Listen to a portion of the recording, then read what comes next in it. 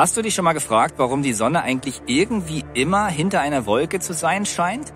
Und drumherum ist es meistens frei, also so wie jetzt da. Manchmal auch hier oben ist es dann frei. Und da ist wirklich eine Wolke genau vor der Sonne. Dann bleibt dran.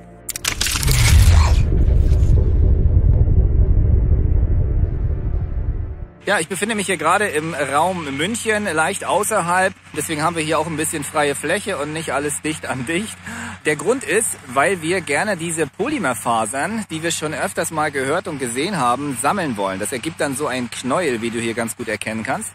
Und diese Polymerfasern, die äh, setzen sich ja so ab. Das sind ja so spinnwebenartige Strukturen. Ne? Das sind so also synthetische Spinnweben, Mikroplastik. Da wollen wir nochmal genauer hinschauen, was da denn auch wirklich dran ist. Und deswegen weil wir wissen wollen, wie diese Fasern wirklich aufgebaut sind, sind wir jetzt hier gerade draußen, um zu, diese Fasern erstmal zu sammeln überhaupt. Ja? Und das ist schon mühsam genug. Denn für diese kleine, für diese kleine Probe hier, die man hier ganz gut sehen kann, diese Knäuel da unten, habe ich ungefähr eine Stunde gebraucht, ähm, die ich quasi über so ein, so ein Feld gegangen bin und dann ganz vorsichtig mit diesem, diesem Gläschen, dann noch eine Pinzette und so weiter, ähm, diese Fasern eingesammelt habe. Und die äh, muss man dann auch zusammenrollen und so weiter, dass sie dann auch nicht im Wind davongetragen werden. Also es ist sehr, sehr schwer, diese Fasern zu sammeln. Das ist natürlich alles bewusst so gemacht, ist ja klar. Ansonsten könnt ja jeder diese Fasern sammeln und man wird die vor allen Dingen auch sehr schnell sehen. Deswegen sind sie so schwer ausfindbar. Und da brauche ich jetzt im Prinzip deine Mithilfe, wenn du Lust hast mitzumachen und diese Faser mit einzusammeln. Wenn du vor allen Dingen schon weißt, wonach du schauen musst, dann bist du herzlich willkommen, hier mitzuhelfen. Was du dazu tun darfst, ist folgendes. Du suchst dir so einen Acker, wie wir den jetzt hier vor uns haben, oder auch so hohes Gras. So hohes Gras ist meistens noch besser, also halt so diese, diese Höhe.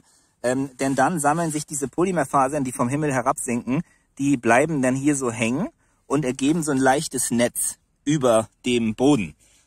Und ähm, auf so einem Acker sieht man die aber sehr, sehr gut. Deswegen habe ich den Acker angesprochen, weil der Acker hat einen hohen Kontrast zu den Fasern. Wenn die Sonne am Abend oder sowas oder auch am frühen Morgen, wenn die Sonne ähm, in einem gewissen Winkel steht, sagen wir mal so weit über dem Boden, dann reflektiert das Sonnenlicht auf diese Fasern, die überall liegen und reflektiert dann zu dir. Und dann kannst du die Fasern sehr, sehr gut erkennen. So kannst du überhaupt erstmal schon mal sehen, wo befinden sich diese Polymerfasern, weil das sind nicht alles Spinnweben. Ja? Und äh, dann suchst du dir halt so Gräser, wie ich sie gerade hier vor mir habe, und nimmst dann irgendwie einen Stock oder sowas oder ähm, einen, einen Plastiklöffel oder so und gehst mit dem Plastiklöffel genau auf der Höhe des Grases durch, zwischen den Gräsern durch, weil die sammeln sich genau dazwischen ab, gehst da durch und dann bleibt da was hängen. Und das machst du dann ungefähr mal eine Minute lang und fährst dann mal so äh, die Gräser ab und dann schaust du mal, was an dem Stock oder an deinem äh, Gegenstand hängen geblieben ist und das ähm, musst du dann versuchen einzusammeln und dann in dieses, dieses kleine Glas zu bringen. Und wie gesagt, dieser kleine Knäuel hat mich eine Stunde Arbeit gekostet. Deswegen auch die Bitte, ähm, dass du hier mithilfst und wir gemeinsam einfach schneller vorankommen. Ja? Du kannst auch alternativ zu einem Baum gehen und ähm, wenn der Baum nicht zu groß nach außen ausläuft, sondern relativ schmal ist und wenig Blätter vielleicht hat, dann kommen diese Fasern auch, sinken ab und werden dann vom Wind an diesen Baum rangetragen und setzen sich dann am Baum ab, an der Rinde. Ja?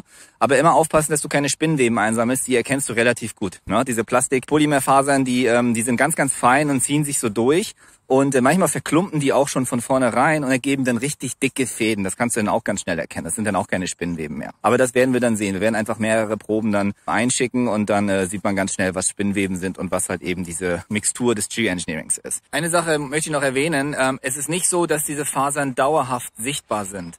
Also es wird im Sommer oftmals mehr gesprüht als im Winter ähm, beziehungsweise im Winter ist die Nässe einfach höher und deswegen sieht man diese Fasern sehr, sehr schlecht. Also wenn es trocken ist, dann kannst du es eigentlich immer alles ähm, besser erkennen. Einfach mal ein bisschen darauf achten, immer wenn du so ein bisschen mal spazieren gehst, draußen unterwegs bist, ob jetzt gerade gesprüht wird, ob der Himmel äh, blau ist oder komplett dicht.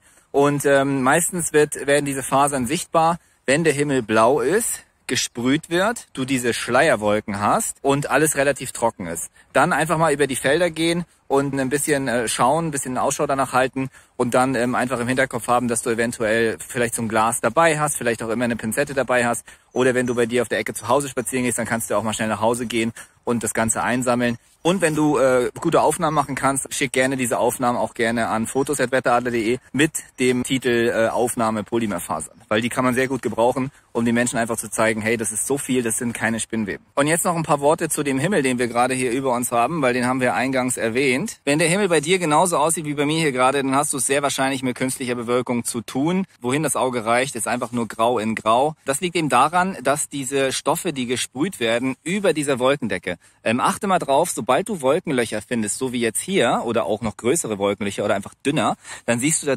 meistens Flugzeuge, die fliegen. Ne? So Chemtrails wieder hinten. Also die sprühen weiter. Die sprühen dauerhaft, die machen da keine Pause, die Jungs. Und diese Stoffe, die verteilen sich und in einer gewissen Höhe werden die dann durch das Global Weather Network, also das Wetterradarnetzwerk, was durchaus aus Satelliten sind, werden diese, diese Einheiten gezündet und dann wird die Feuchtigkeit, die in der Atmosphäre frei herumfliegt, dazu gezwungen, über die technische Ionisierung, also die Aufladung der gesprühten Teilchen, in einer bestimmten Höhe zu kondensieren. Und dann, deswegen ergibt das diese sehr, sehr flache Schicht. Ja? Deswegen fallen, äh, ist das Wasser, was in der Atmosphäre ist, nicht so frei, dass es sich zu dynamischen Wolken bildet, so wie jetzt hier jetzt eingeblendet. Das wären eigentlich die natürlichen Wolken, die normal äh, entstehen, sondern das Wasser wird vorher abgefangen in irgendeiner Form und dann ergibt das eben durch diese Zündung der Frequenzen, da hinten sieht man auch diese Rippchen oder hier nochmal eingeblendet, diese klassischen Strukturen der Frequenzen, die dahinter stehen, die dafür sorgen, dass diese Wolkendecke auf einer Höhe gezündet wird. Und wenn das wirklich sehr, sehr dicht ist, dann siehst du diese Frequenzen nicht. Dann ist es einfach nur grau.